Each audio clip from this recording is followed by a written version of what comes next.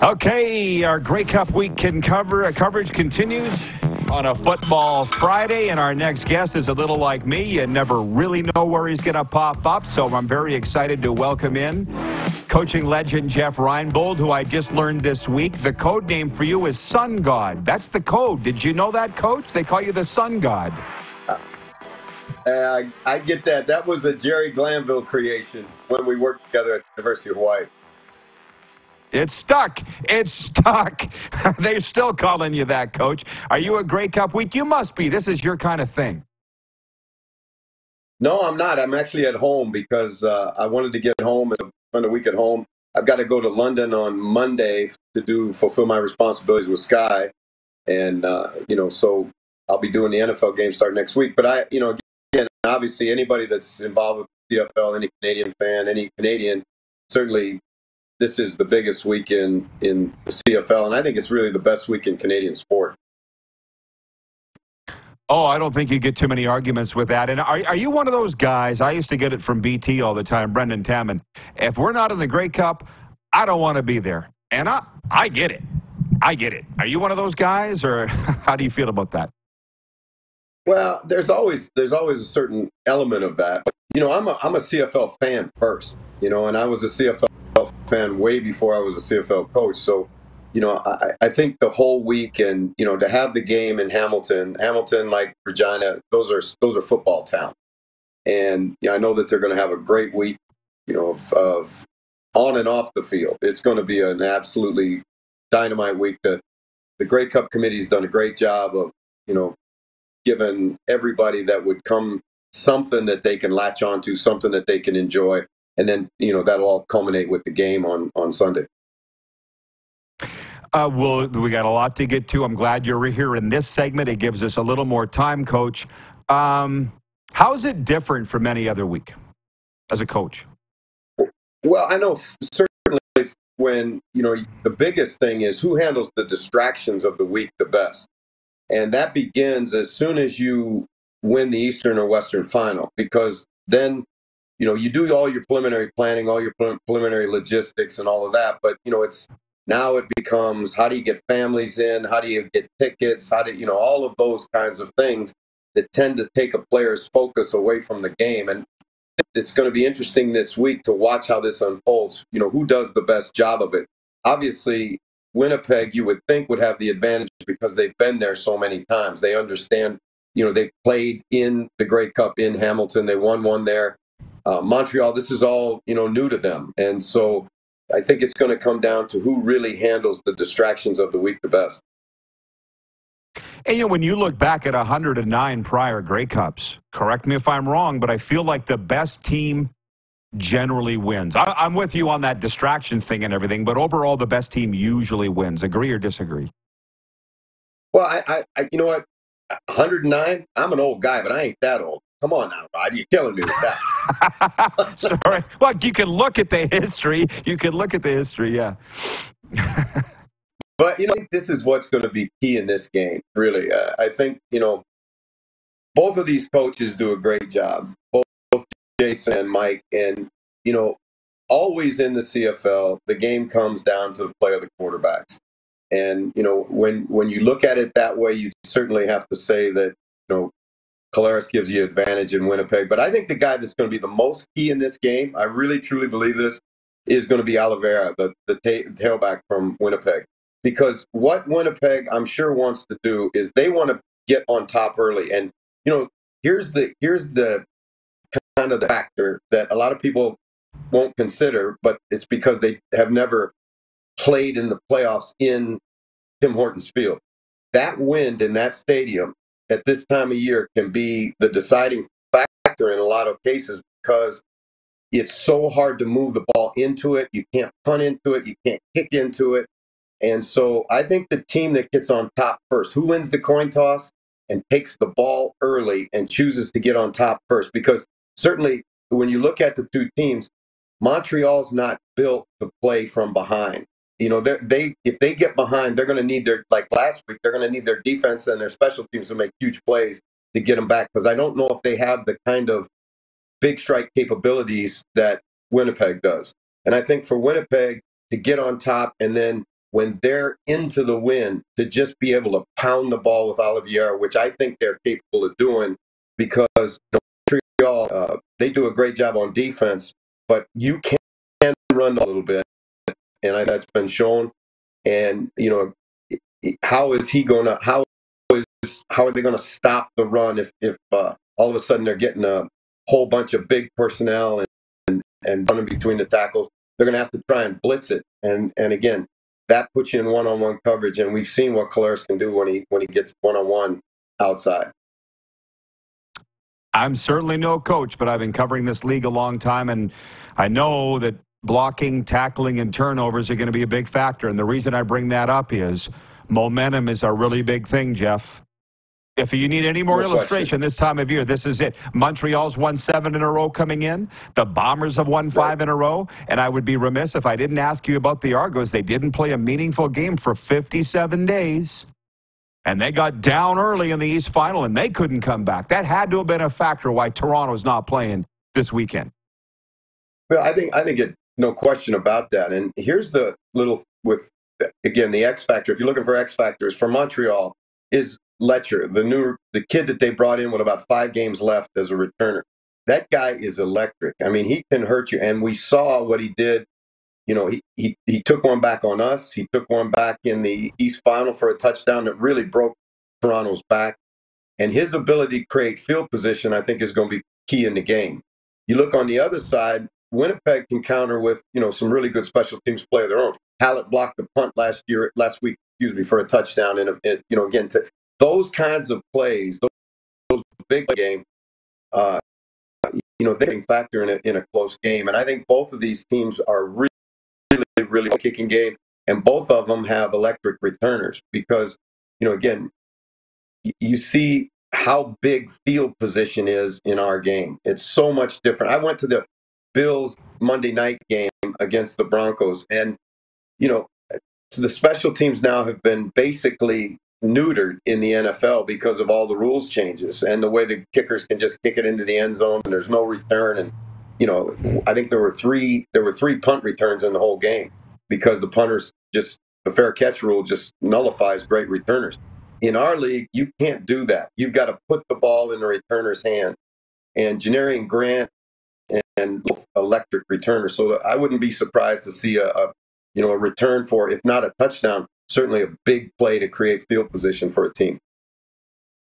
It's not uncommon. It's not uncommon. Now you've been coaching for so long. You've coached in all conditions. The fact that it's going to be above zero, above 32, whatever you Americans say, and nice conditions is a good thing for the both teams. No question. I, I think so. You know, and Rod, I, you know, we've we played in the Grey Cup in Regina that week. It was so bitterly, bitterly cold, and the cold became a factor in the game. We played in the in the wind in uh, 2019, excuse me, 21 against Winnipeg, and the wind was a tremendous, tremendous difference in the game. And who manages? And it's not the it's not in at I excuse me at, at Tim Hortons it's not so much the cold, it's the wind. Because when that wind is going, it is like a it's like a wind tunnel in that stadium. And, you know, it really makes it difficult on the punters and the kickers. And, you know, it can be the factor. And that's why it's so important that when you get the wind, and I think this is going to be really, really key. Watch this in the game. When you have the wind at your back, who goes up tempo and tries to maximize the number of snaps they get with the wind and then also when you're into the wind, who slows the game down and, and goes right to two seconds on the play clock every play? Because you can, you know, you can really do a great job of managing in the wind if you understand how important a factor it is in that stadium. We've both been in Ivor Wynne and Tim Hortons a million times. We've heard about the wind in Hamilton. Is it not true they flipped from north south to east west or vice versa when they built a new place and the wind is worse now?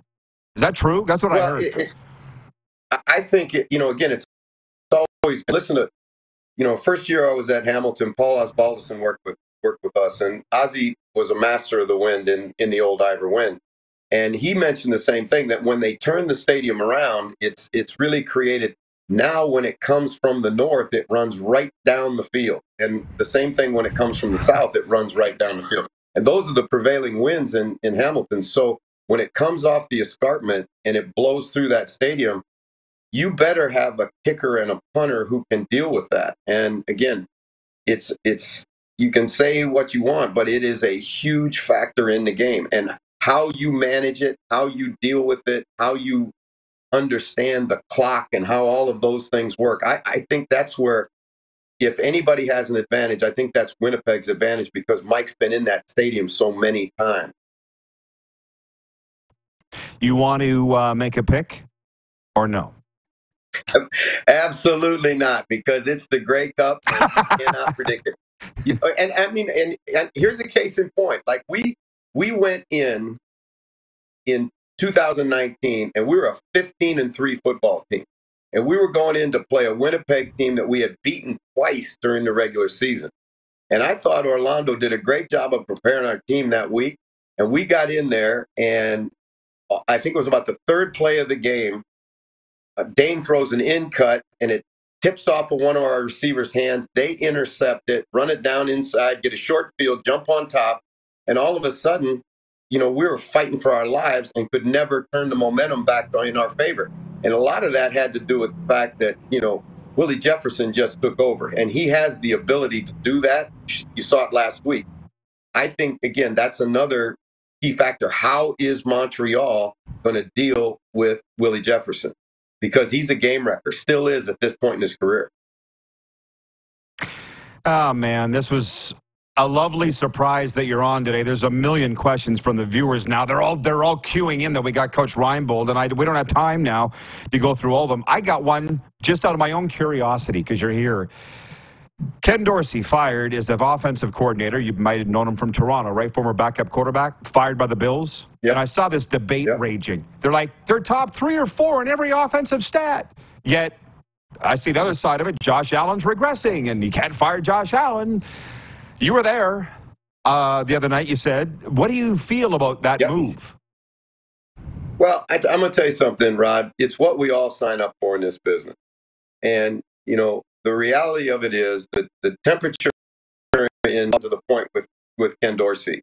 I mean, in the last month, because we're so close to Buffalo, you, you know, there's a spillover on WGR, and you listen to the talk shows, and and you know they were after him for a month, and you could statistically, it doesn't make sense. But, you know, once they start to beat the drum and you're not playing well, somebody's going to go. And it's not going to be a player typically. And it's certainly not going to be a guy that you're playing, you know, millions of dollars in a guaranteed contract to. It's going to be a coach. It's it's kind of the nature of the business. But I'll tell you this, I watched the game and, you know, the first ball Josh throws is out in the flat and Cooks catches it and gets hit and turns it over. And then you know, they, he runs an in cut and, you know, he throws a perfect ball, right? And Gabe Davis clanks it off his hands and Simmons intercepts it. And then they got 12 guys on the field on a field goal at the end of the game. You know, I he didn't do any of those things, but somebody's got to pay the price, and that's just the way it is. And, and it's typically going to be a coordinator. It will be the first one to go. But, you know, I, I feel, do I feel for Ken Dorsey? Yes do is he a good football coach? Obviously, yes, or he wouldn't be in that job. But for the Bills, they need to shake it up. They're five and five, and if you know, think about this, Rod. They've got Kansas City, Philadelphia, Miami, and Dallas all coming in the back seven. And if they don't win, I'm I, i am serious. They're five and five. If they don't get to nine wins, they're not going to be a they're not going to be in the playoffs. And and uh, so it's desperation time in in Buffalo right now. Uh, okay, now you're explaining it. Yeah, he'll be just be the first of many out the door. Is kind of is the with the sense that I'm getting. I had an old hockey coach friend, the, Terry Simpson, that said the more you get fired, the more desensitized you get to it. Is that true? Yep, I think it's true. And and the great Bum Phillips, one of my all-time favorites, said this: "There's only two types of coaches: them that's been fired, and them that fired. Oh, you just get used to it if you're in this business." Okay, last one. It's a fun one from John in Calgary. John Burns. He says, "Was Toronto cursed by 16 and two? The only other 16 and two team lost as well. 89 Eskimos." Uh, I just put the. Do you believe in curses and so was it not a good thing to have the best regular season curses, record ever in Argo history? I do believe it because you know the hardest thing to do with a football team, and I don't care if you're 16 and two or two and 16, is to not listen to the noise, to not hear the noise from the outside. And you know, w- once they got to about 14 wins, now the big speculation in you know on three down nation and in this .ca and all of it was, is this the greatest football team, Canadian football team in history? And all you know, it's hard to shelter your players from that, you know, and you get the you know, you get success flu, and all of a sudden you get a bad case of success flu, and you get bounced out of the playoffs in the first round. Yeah, well, what does Saban call it? Rat poison, as you That's know. exactly. Uh, Coach, That's again, exactly right. this was this was a wonderful uh, surprise. Thanks for this. Keep in touch and enjoy the big game. Enjoy your time at home. Well, we will, Rod, and I look forward to being with you guys all the way through the playoffs and up. Oh, good. Absolutely. Let's get a sponsor this time. We got our sales guys watching for sure. Thanks, Coach. All right. Jeff Reinebold uh, All right. Thank you. checking in from across the pond.